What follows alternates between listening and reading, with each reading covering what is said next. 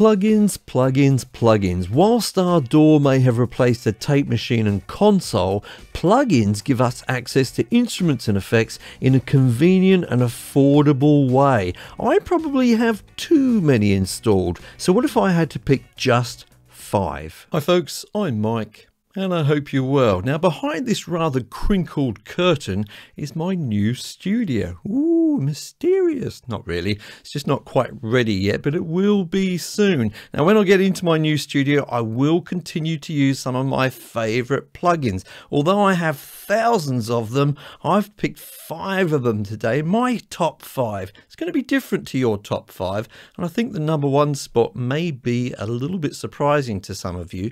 Now, another thing that I will continue continue to do is have DistroKid as a sponsor for this channel. If you follow the VIP link in the description down below, you'll get 7% off an already amazing price to distribute your music to the world.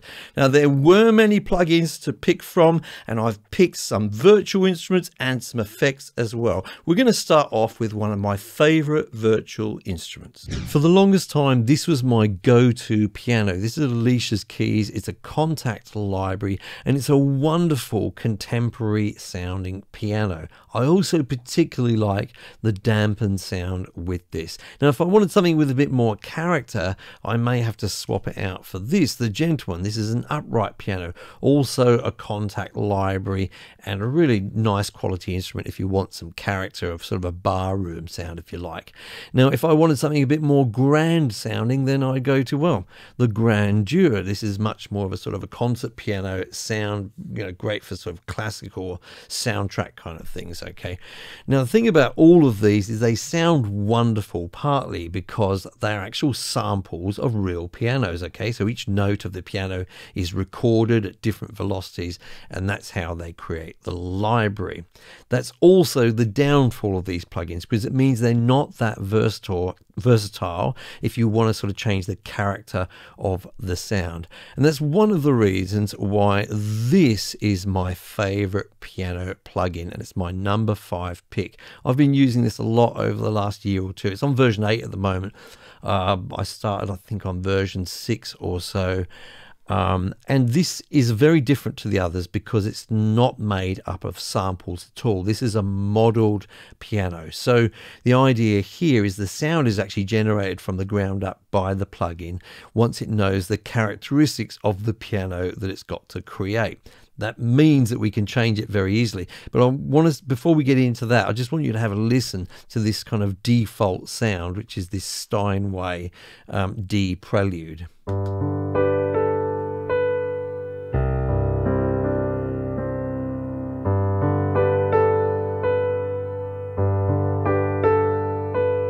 Now, I've got to tell you, there's something about playing this particular piano. It feels more natural when you're playing it on the keyboard than some of the other ones I've mentioned. For some reason, I haven't figured out what that is, but it just feels more sort of organic for some reason. Now, as I say, we could swap it out or change the character of the piano uh, quite easily. There's lots and lots of presets to choose from. Let's go for an upright sound. We've got this one here, U4 Tall. Have a listen to that.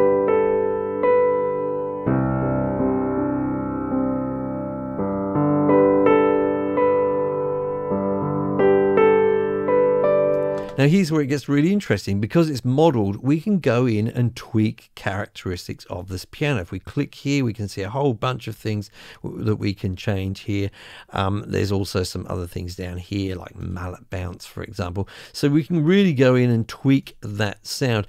An interesting one I want to show you an interesting way to tweak the sound is down at the bottom here. This is the condition of the piano. We can change it on the fly because it is modeled. We can start at mint which is just a perfect sound. Sort of piano and go all the way over here to worn and you can see the interface has changed to reflect that. Let's kind of go halfway down here to a piano which is probably a little bit out of tune and in, in not great condition. Let's have a listen.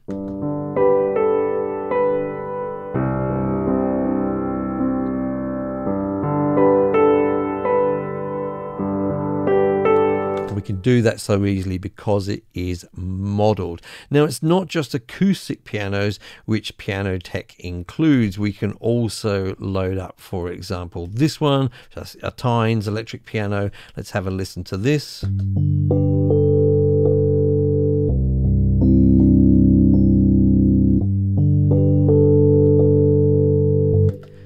And it sort of interestingly in this latest version, and you can sort of take this with a pinch of salt, they because it's probably not why you would get this plugin, but they've also started to model uh, things like sort of guitars in there. So we've got a classical guitar, for example. There's actually a range of other instruments in there, um, apart from acoustic pianos, a marimba here, for example. Let's have a listen.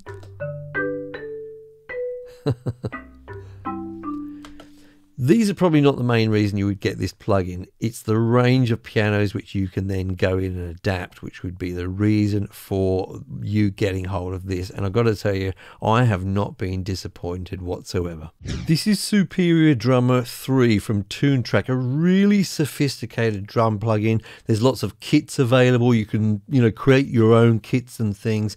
There's a great mixer here, um, which is really very versatile. You can send each individual drum out to different tracks on your DAW and really get control over the sound. You've got some grooves included, for example, and overall, it's just a very, very well made drum plugin, which I use sometimes. Now, it sounds like this with one of the kits.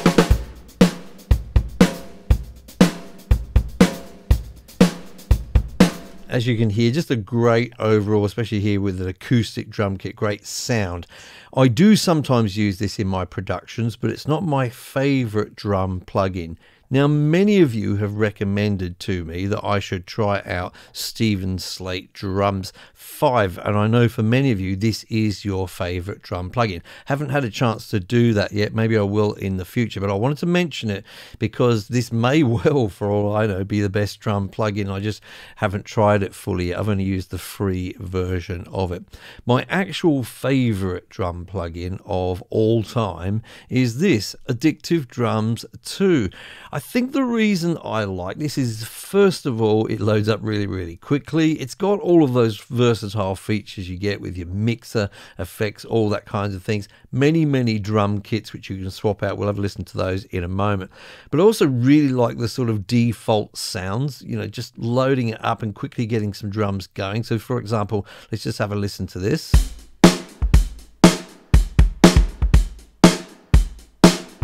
Nothing to write home about in one sense, but just will get you going with a song really, really quickly, a basic drum sound like that. And there's an enormous variation of kits that you can get as well. So this was um, this one, have a listen. Let's swap over to something different. Fairfax, I mean, a bog standard kit sounds really great. And that's if you want sort of traditional acoustic sounding kits. We've got this one, Fairfax 2. We'll move on. We've got bigger sort of rock sounding kits like this one. Black Velvet, yeah. Um, and we go through things, you know, we've got R&B kits, we've got um, another heavy kit here, a pop sound, lots and lots of kits. And you go all the way through to sort of more unusual things like electronic kits, as well, you know, sort of 808 sounds and things like that in there. Um, and just uh, the funk kit is good, by the way, as well. I really like that. Just a great range of things. Great when it comes to these jazz kits as well. We've got some brushes in there, which I sometimes use. So, you know, lots of variations in sound with addictive drums, which I really appreciate. Here is that that brush sound. Oh yeah. Mm. So that's one of the reasons I, I really love it. We've got all of those features. I say we can go into the kit here and we can swap out individual drums like so. We can just, you know, choose a different drum to go into that slot. Um, if we go into editing, we can edit each drum in terms of, you know, so it's envelope and things like that. We can swap out different effects on individual drums. Incredibly versatile. I'll put a link for it in the description. It's my number four pick as one of my favorite plugins ever. I guess it could be important for makers of these plugins to be in top fives like this prestigious one, a bit like how it's important for you to get on a playlist when you release your music to Spotify. One of the ways to get more listens to your music is to get on a Spotify playlist. Now DistroKid makes this fun and easy for you to get on their playlist with a feature called the Wheel of Playlist. I'm going to go to the top of my DistroKid account here, click on the menu at the top there, then go down to Get Heard Now and then click on Wheel of playlist. The first thing I need to do is pick one of my songs, so I'll go ahead and pick one randomly here, and then I click on connect with Spotify. I then have to agree that DistroKid can access my Spotify account, which I have done here, and then the wheel of playlist comes out. Now the idea here is that you get uh, three spins, and the best of these three spins determines how high up you are on the playlist. I'll click on the first one. Now, of course, the higher up you are on a playlist, the more likely it is that your music will get heard. I'll click again here, and we've come up with what we got. Oh, it's teasing me 2880. And then finally, we have Oh, 1927 is the best result. Now, don't worry, you can play this every single day to increase your chances of getting a higher ranking. This is included for free with your DistroKid account. Follow the link in the description down below to get 7% off today. This is Ozone 10, the latest version of the renowned mastering suite from iZotope. I used to use this for all of my mastering from beginning to end. I don't do that anymore. We'll talk about that later, but I still think in its incredible suite. We're looking at the artificial intelligence result at the moment. It's analyzed my track and it's come up with some basic settings to get me going. But I can, of course, go in and tweak each individual module. We've got an EQ EQ here. There's the stabilizer, impact, imager, dynamic EQ, and finally maximizer. This is a sort of mostly for setting the loudness. And it's this as an individual plugin, which is actually my number three pick. Now, it may not be the most exciting sort of plugin of all time, but it is very, very useful. I probably use it in every single production. The reason it's so useful is because I'm often targeting particular values when I'm doing my limiting. So, for example, I may want to make sure that I've got a true peak value of minus one. I'll click on true peak at the top here and just drag this ceiling down to minus one. I know I won't go over that. But more often than not, we're trying to set something called the LUFS value these days for streaming services. At the moment, the LUFS value is set to minus 11. I'm just going to go in and change that to minus 14, for example. And the next thing I need to do is then just click on learn threshold. Okay, so I click that. It's playing the track already, and you can see it's adjusting this threshold if I give it enough time, it'll eventually come up with a, a, great value there, which means we will get the result we want in terms of minus 14 for LUFS. Okay, that saves me having to sort of get an analyzer out and a limiter separately and keep adjusting it and tweaking it and tweaking it till I get it where I want it. Okay, it's just like an automated process. That's a great time saver and gets you the result that you want. Now, of course, we get many plugins that come with our DAWs. These are called stock plugins. But I have a question for you. If you had to pick just one non-stock plugin, what would it be? Usually any of the major DAWs have stock plugins, including EQ plugins, okay? And they're often very, very good. They often have the features that you need to get the job done. But sometimes you want a little bit more than just getting the job done. You want to get the job done really efficiently and really well. And that's where I think my number two pick really excels, particularly above the stock plugins, but really above any other plugin of this type that we see out there. And of course, you probably have guessed that my favorite EQ plugin is FabFilter Pro Q3. Not just me, but for many people.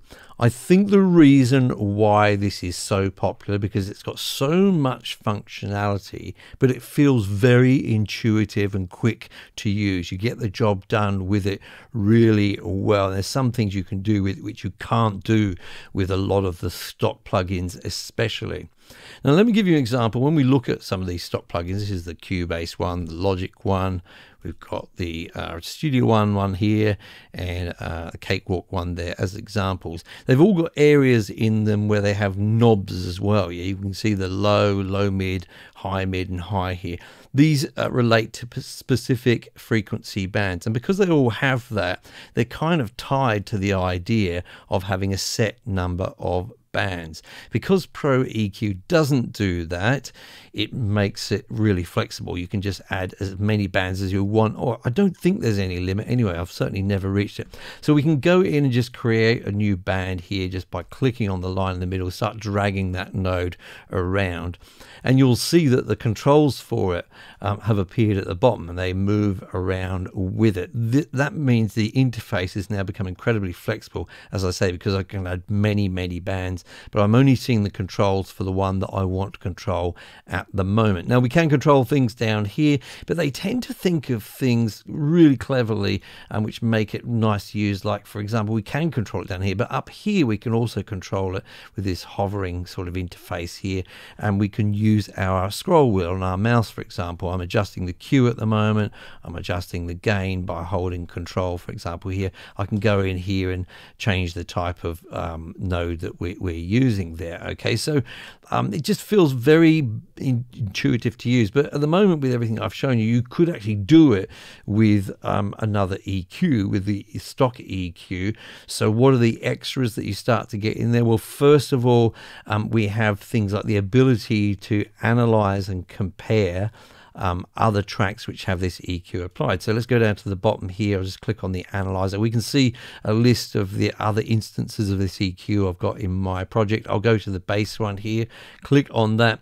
You can see um, that we're now seeing in red the frequency analysis of the bass guitar. There's also these sort of um, red um, sort of heat areas here. That's showing where we may have some masking going on. So masking is where um, two instruments really occupying strongly the same space, and you probably want to carve one out so that the other one can be heard. Okay, so this is very helpful with masking. When we did go down to the bottom here as well, we saw another feature available there, EQ matching.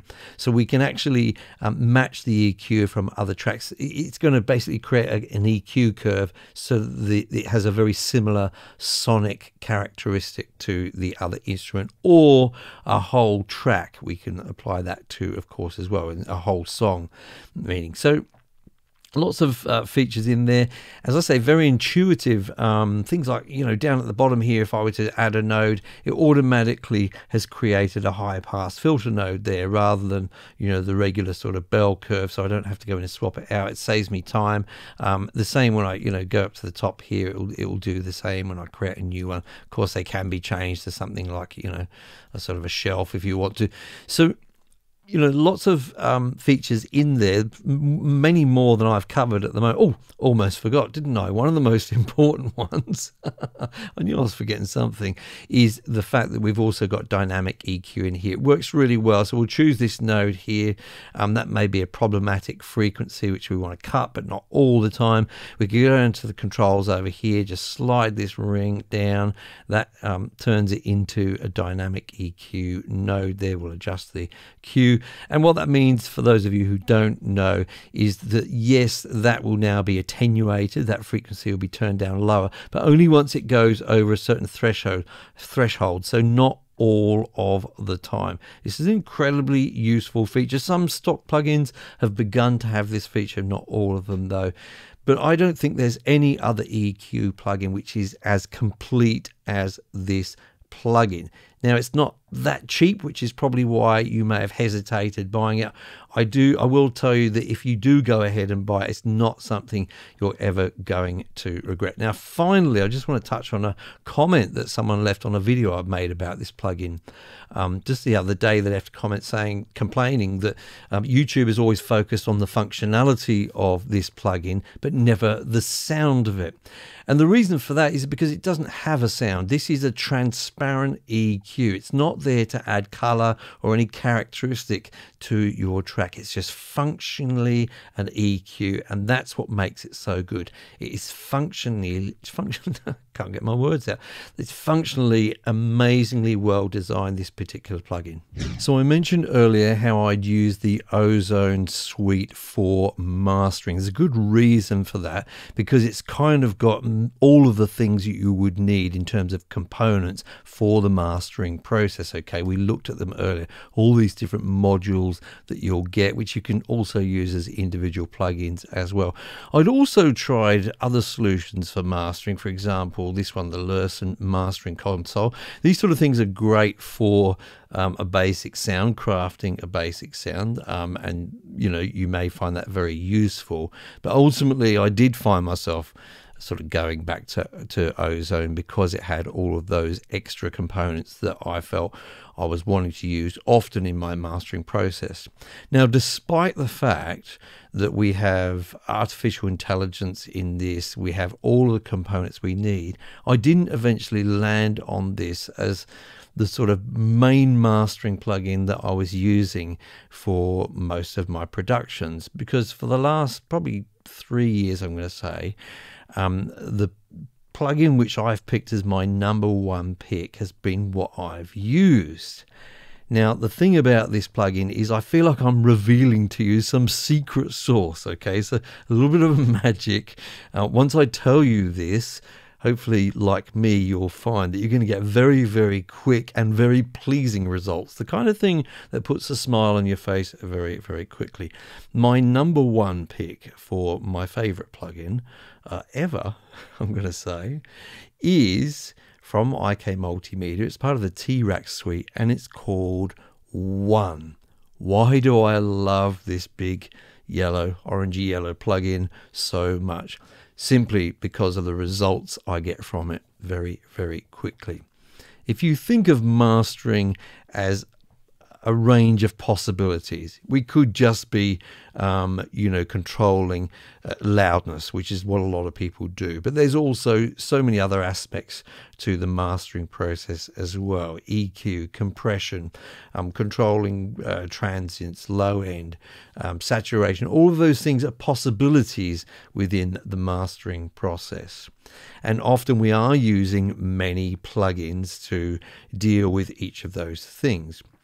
Well, you know how you get those plugins which are like one knob plugins, you know, for a compressor. It's just got one knob, kind of does it for you. You can think of one as a collection of one knobs, if that makes sense. So, for example, over here we have these three knobs air, focus, and body. It's kind of like three bands of EQ in a way, okay? So they're focusing on, on boosting or, or attenuating particular areas. You know, I often love a little bit of air, so you'll often see that air pushed up a little bit for me, uh, depending on the track, of course. We've got push, which relates basically to uh, compression. Um, we've got width, which speaks for itself, I guess, is a stereo imaging um, control, but just one knob there.